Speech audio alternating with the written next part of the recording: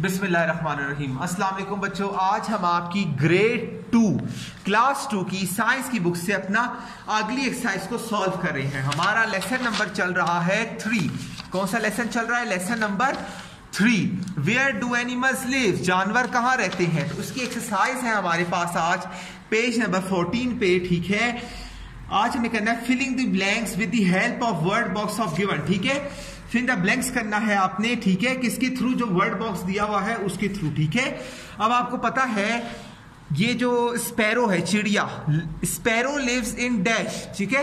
चिड़िया किधर रहती है? चिड़िया डैश में रहती है। डैन पे, सुरागार में या नेस्ट पे, घोंसले में। सो हमें पता है कि जो स्पैरो होती है, वो नेस्ट पे रहती है, घोंसले पे। चिड़िया घोंसले में रहती है, उसके बाद है रैबिट तो ये खरगोश। रैबिट लिव्स इन डैश खरगोश डैश में रहते हैं, बोरो सुराख में या हाइफ्स छत्ते में, बोरोज में, सुराख में रहते हैं। So rabbit lives in burrows उसके बाद है lion lion lives in dash ठीक है? डैश ठीक है? लॉइन्स क्या होते हैं? शेर जो होते हैं डैश में रहते हैं। शेर, होल, सुराख में रहते हैं डेन गार में रहते हैं। So lion lives in den ये वाला सही है हमारे पास, ठीक है? जो शेर है वो किधर रहते हैं? गार में रहते हैं। उसके बाद हमारे पास है हैन मुर्गिया।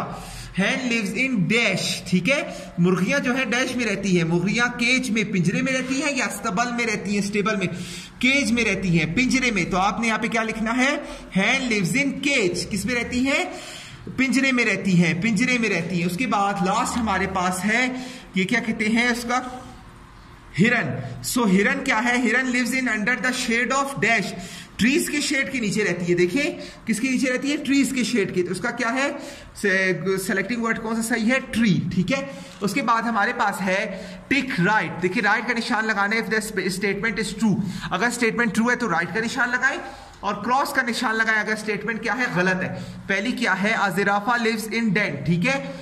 जराफा गार में रहता है, गलत। गलत पे हमने क्रॉस का निशान लगाया। उसके बाद है रेड लिव ऑन ट्रीज ठीक है? चूहे दरख्तों पर रहते हैं। चूहे किधर रहते हैं? दरख्तों पर। ये गलत स्टेटमेंट है। ये फॉल्स है। इसके लिए हमने क्रॉस का निशान लगाया, ठीक है? उसके बाद है बीज लिव इन हाइव्स ठीक है? शहद की मक्खियाँ छत्ते में रहती हैं। ट्रू सही है, इसलिए हमने टिक का निशान लगाया। दुरुस्त। बीस लिव इन हाइव्स ठीक है, शहद की मक्खियाँ छत्ते में रहती है, उसके बाद है। बर्ड्स मेक देयर नेस्ट परिंदे अपने घोंसले ज़मीन पर रहने के लिए बनाते हैं। Birds makes their nest to lives in ground गलत फॉल्स देखिए, हमने क्रॉस का निशान लगाया फॉल्स उसके बाद है हॉर्स लिव इन स्टेबल घोड़े स्तबल में रहते हैं। हॉर्स लिव्स इन स्टेबल तो ये ट्रू है, सही है, इसलिए हमने टिक का निशान लगाया। तो ये आपके घर का होमवर्क है, आपने लाजमी इसको अपने घर में करना है। अल्लाह हाफिज।